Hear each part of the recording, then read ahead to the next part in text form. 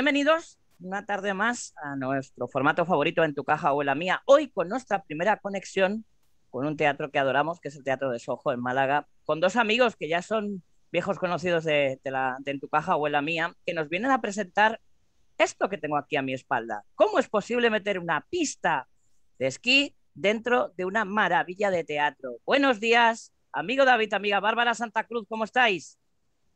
Muy bien, ¿qué tal? Un gusto saludarte. Eh, lo primero, em, bueno, hablaremos ahora de la nieve y todo esto. ¿Cómo habéis llevado todo este año tan complicado y tan complejo dentro de, claro, evidentemente desde el ámbito de la cultura? Complicado ha sido, ¿no? Bueno, pues sí, la verdad es que ha sido un año, ha sido un año catastrófico. Eh, acaba de estar mi madre aquí de visita en Málaga y el otro día mientras cenábamos charlábamos un poco de esto viendo un poco luz y esperanza de que acabe esta etapa ya gracias a Dios que todo el mundo está vacunándose y parece que la cosa ha pasado, pero sí, ha sido un año muy duro con muchas pérdidas eh, y ha sido un año muy, muy triste, la verdad. Bueno, haciendo un guiño a esta maravillosa obra, estamos en la pista para poder despegar de nuevo, y nunca mejor dicho. Oye, David, ¿cómo ha cambiado el teatro por detrás? Es decir, eh, ahora, evidentemente, hay seguridad en todos los sitios y me consta que el Teatro de Soho es precisamente un exponente de eso.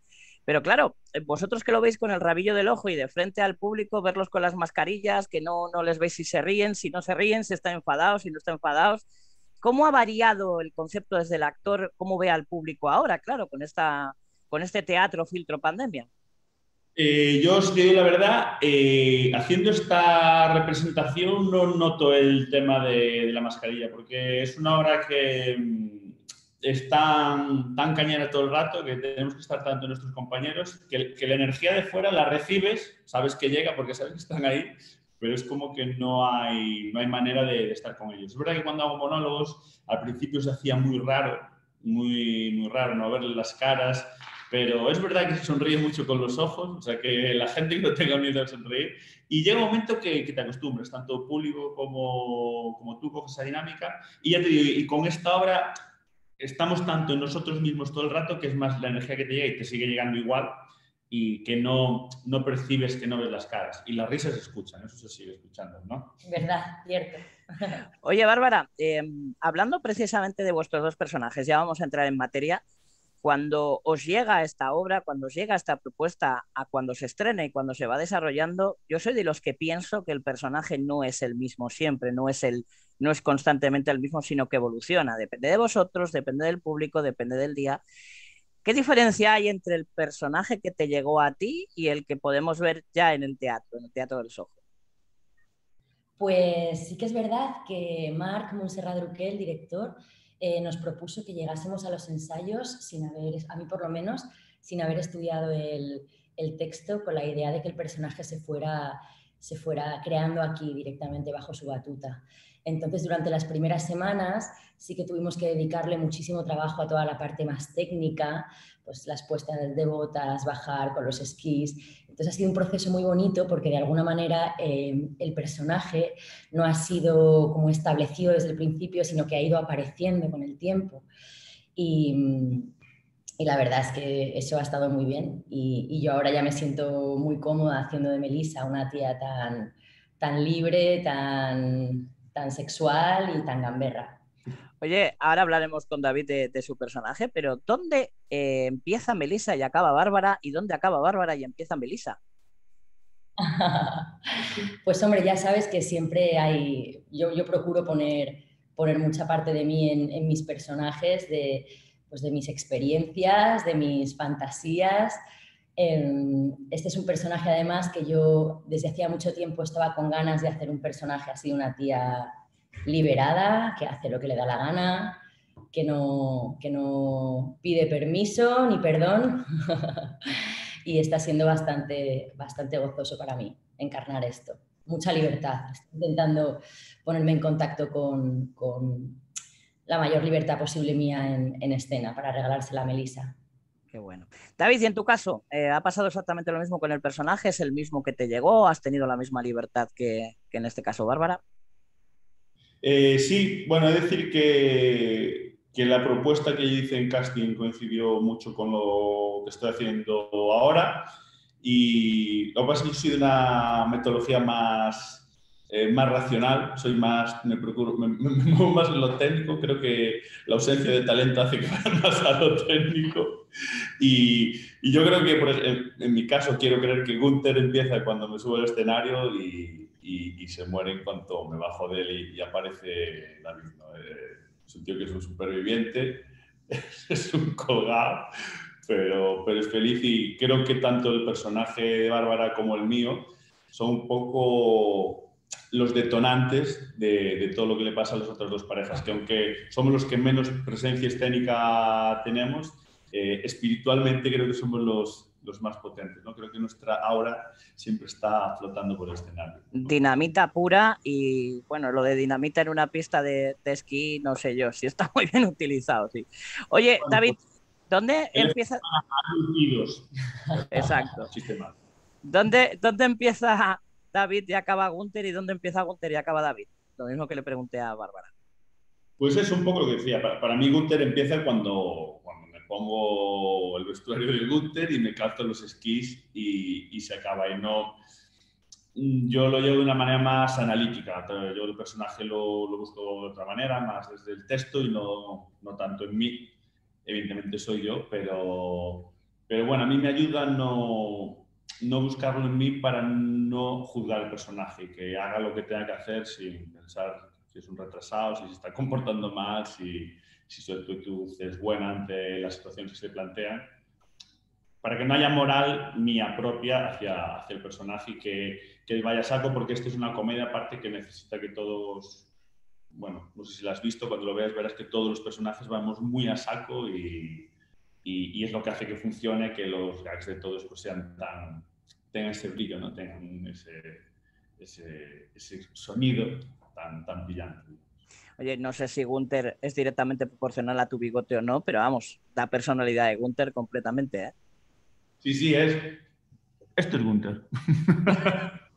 eh, el valor que da esto en Málaga. Estoy ahora para rodar Wyatt 2, sí. el Directamente, además, os estaba viendo por detrás, digo, caray, bueno, te, te tiene que tener una refrigeración el, el, Teatro de los Ojos brutal, porque estar en escena con esto tiene que ser curioso. Oye, ¿y lo de esquiar qué tal se os da? Porque claro, evidentemente hablabais de las botas, los esquís, evidentemente este lipstick maravilloso que, que habéis llevado una pista de, de, esquí y además un refugio maravilloso en otras fotogramas que, que irán pasando después detrás de mí. Eh, lo de esquí, a esquiar, ¿cómo lo llevabais? ¿Bien o mal? A ella le ha hecho renacer eh, el gusanillo del esquí, que te lo Sí, yo estoy ahora con un montón de ganas de, de ir a Sierra Nevada o a Queira o a Candanchú, porque es verdad que yo había esquiado hasta los 15 años, de pequeña de vez en cuando me llevaba a mi familia, y luego a los 15 cambié el esquí por la tabla y me empecé a meter unos porrazos considerables. Y como ya empecé a estudiar interpretación a los 17, 18, dije, antes que dejarme aquí la cara y los dientes, voy a aparcar esto un poquito. Y no había vuelto a esquiar y decían que es una cosa que nunca se olvida y afortunadamente sí que ha sido un poco así, porque en Madrid, cuando ya cerramos el elenco y demás, nos llevaron a, a practicar, que pensábamos que nos iban a llevar a Sanadú, pero no, nos llevaron a un centro comercial donde había una moqueta, así que subía y tú bajabas y la moqueta iba al revés. Y oye, mira, dije, pues, pues parece que ni tan mal. Y ahora ya estoy cogiendo soltura y vamos, tú me ves ahí tirándome por la montañita y parece que, que soy como una de los hermanos Ochoa, ¿no? Una experta, Ajá. tienes pinta de eso, ¿eh? Sí, soy experta, un poquito, un poquito. Ajá. De ahí a las Olimpiadas poco falta. Oye, eh, quien, un compañero que, que, ha visto y sabe de, de, vuestra representación me habla de un detalle, a mí me parece muy curioso y os lo quiero trasladar y además estará en, junto con el artículo de esta, de esta entrevista, que habla de la voz de los personajes, ¿vale? Es decir, de Melissa y de Gunther. Cuando os encontrasteis al personaje, tanto David en el casting como cuando Bárbara recibe la propuesta, ¿os percatasteis, os sonó en la cabeza la voz del personaje? Porque a mí me han dicho, David, no reconocerías a Bárbara. Es, algo que a mí me, gusta mucho, ¿no? Porque ese matiz y esa personalidad que da la voz también al personaje. Eso es algo que sale de manera natural, que también lo buscáis. ¿Cómo ha sido vosotros? Hombre, en, en, mi caso hubo un poco de, de, investigación porque mi personaje es austríaco. Eso es. Es un monitor de esquí, que es como su mundo realmente, eh, toda esa estación de esquí. Entonces, claro, estuvimos buscando austríacos que hablaran español, porque aparte se supone que esto es un monitor que atiende a gente de muchos países, ¿no? Pues españoles, franceses, italianos, alemanes, de todos los lados. Entonces, viendo cómo los austríacos hablaban español, fuimos haciendo una composición, porque claro, hay austríacos que hablan castellano perfectamente, entonces eso no nos valía, porque claro, aquí también buscamos un poco ese cliché que existe de ese austríaco que habla así un castellano un poco pues cruzado porque sabe muchos idiomas y tal, y fue un poco apareciendo pues ese equilibrio de que sea un poco austríaco, que sea gracioso, que sea mantenible durante toda la función, porque claro, al final tienes que estar ahí tirando la voz y tal, y, y cosas que, bueno, yo me acuerdo de una anécdota cuando eh, Luis Tosar hizo Zelda 211, que fue con esa propuesta de mala madre, y el director dijo, vale, me gusta mucho, pero ¿serás capaz de mantener todo esto toda la película? Pues al final tú tienes que buscar una propuesta que seas capaz de mantener función tras función todos los días y, que eso... Sin hacerte daño, claro, lógico. ¿Y en tu caso, Bárbara? ¿Qué fue el proceso? Pues mira, en mi caso eh, sí que he estado trabajando mucho con Mark el bajar mucho la voz a los graves porque es un personaje que está muy conectado con lo instintivo. Entonces sí que de esa manera puede que, mi voz eh, en esta función esté sonando pues, más grave de lo que suele ser mi, timbre habitual. Y luego también hago de madrileña y entonces también estoy poniendo un poquito de la manera de hablar de mi ciudad. Siendo ella como es de Huelva. Siendo yo como soy de, del barrio del Pilar de Madrid. Y entonces entre una cosa y la otra, pues sí que estamos buscando la manera de hablar de Melissa.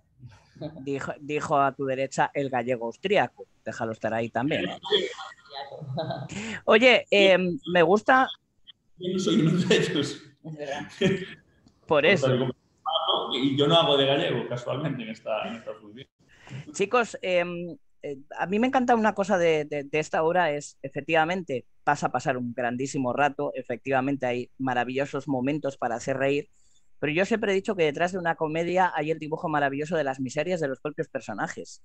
Es decir, dentro de esa dureza eh, elegante y chulesca que, por ejemplo, pueda tener Melissa, detrás hay una herida complicada, hay grietas. Eh, quizás esa es la coraza que hace que Melissa tenga esa actitud, ¿no? Que, pueda tener con el resto de, los compañeros o con el resto de los personajes, perdón.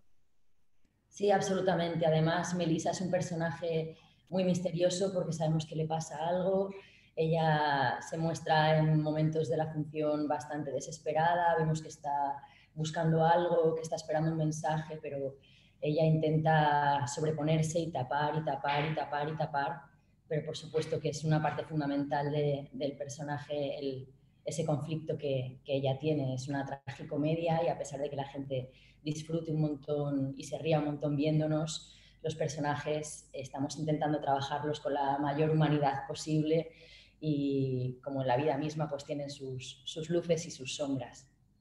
Oye, David, qué importante es el silencio en el teatro, porque en esta obra también es tan importante lo que se dice como lo que no. ¿Es muy importante también eso? Para mí esta, eh, esta obra representa mucho lo que es el teatro. Eh, me refiero, siempre se hacen paralelismo, por ejemplo, teatro y cine. Y para mí esta obra es más un paralelismo con, con, un cuadro, ¿no? Que tú, hay un pintor que lo pinta y después hay alguien que se pone delante e interpreta una cosa. Y para mí esta obra tiene un poco de eso. Yo creo que según tu estado de ánimo sacarás unas conclusiones, otras, y creo que se apuntan muchas cosas, que el personaje de Bárbara es, es muy claro, ¿no? Sabemos que le pasa algo, todo apunta, ella por supuesto tiene su motivación y sabe por qué, y la gente pues se quedará más con una parte o con otra, que también creo que es, es un poco lo bonito de esta obra, ¿no? Como aquellos libros de elige tu propia aventura. Pues aquí tú, tú, aquí vas llevando tu historia personal, viendo la obra por donde tú quieres y creo que, creo que es lo, lo interesante de esta obra. ¿no? Oye, chicos, para ir terminando ya, eh, me la sirvió casi en bandeja David cuando hablaba de buscar ese austríaco que hablara español. En esa búsqueda ¿Os imagináis haberos encontrado en una cafetería en el centro de Málaga a ese Punter y a esa Melissa tomándose un café? Si fuerais capaz de tener o sentaros a tomar un café con ellos, ¿cómo os imagináis esa conversación? ¿Qué os gustaría preguntarles a ellos si fuerais capaces de verlos directamente y mirarlos a los ojos? Yo con Gunther creo que no sería capaz de hablar de nada porque Gunther solo me intentaría sacar pasta. Intentaría darme clases de tenis o de golf o recomendarme que vaya a su restaurante o... Un superviviente, vamos.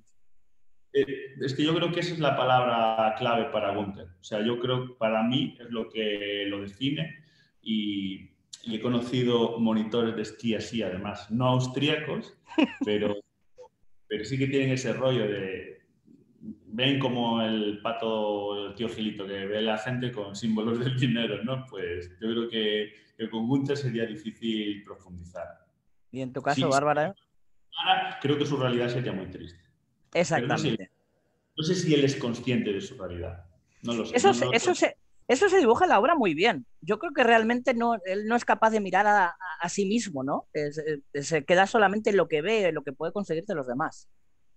Sí, hay, un momento que, que parece que se vislumbra, pero al final dices, ah, no, este ya está otra vez en, lo de siempre, a, facturar, facturar, facturar.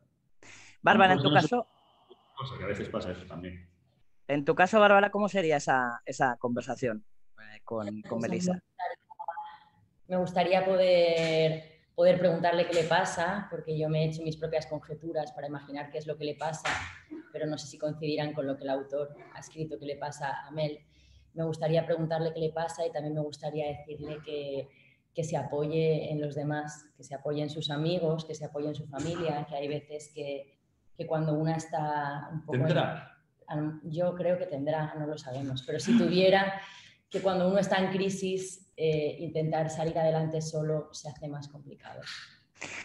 Chicos, ¿cómo se ha recibido Málaga? Para terminar, porque jugáis en casa, es producción de casa, es, eh, estáis en, jugáis como la selección en Sevilla, en la Cartuja, ¿cómo se ha recibido Málaga?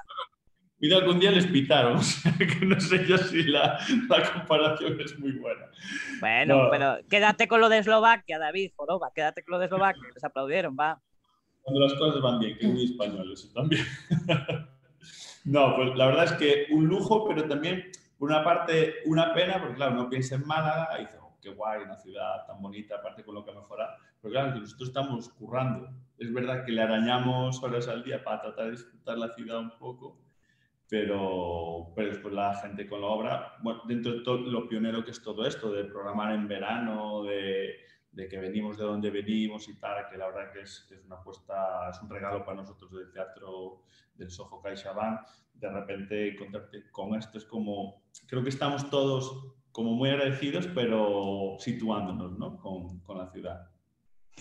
Chicos, ¿se nos ha olvidado algo? ¿Os gustaría que pusiéramos como firma, como presentación o rúbrica esta conversación de, en la pista? ¿Nos hemos acercado a lo que queríais contar?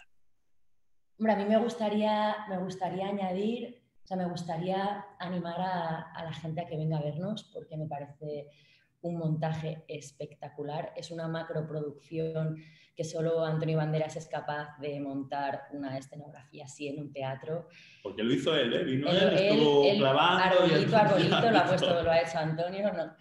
Creo que, que, es una obra que, que, que, va a provocar risas, que también va a dar que pensar eh, y, y, que es, que es una, una, una oportunidad de ver algo muy diferente entonces, por eso sí que animo a, la gente de, Málaga y de alrededores que, que, sigan viniendo a vernos, porque vamos a estar allí con todo nuestro corazón y todas nuestras ganas intentando contar esta historia lo, lo mejor posible. Incluso que vengan por curiosidad. Yo, por ejemplo, en mi caso hubo un momento que Laura quería hacerla por curiosidad, porque cuando me contaban, no, vais a esquiar, y yo, pero ¿cómo? ¿Esquiar? Esto quiero verlo, ¿sabes? Pues aunque solo esa, esa razón primera para venir es buena, y después creo que se llevará muchas gratas sorpresas. Yo os diría que hay muchas razones para ver la obra. La primera sois vosotros, eh, porque sois el máximo exponente del buen rollo, del talento y de la calidad, y sobre todo porque la cultura, y más en ese teatro, es hiper mega segura. Cuando uno va a ver una producción así, va tranquilo, va seguro y va simplemente a divertirse, a desconectar, a pensar y a sonreír. Chicos, ha sido un verdadero placer que nadie, sea de Málaga, de alrededores, o ahora que podemos desplazarnos, que vaya a veros porque el Teatro del Sojo efectivamente está siendo ese ejemplo de, la cultura segura y vosotros dais ese ejemplo y esa luz al teatro que siempre, siempre, siempre nos hace falta. David, Bárbara, ha sido un verdadero placer. Nos vemos en la pista. Gracias. Muchas oh, gracias. Besos.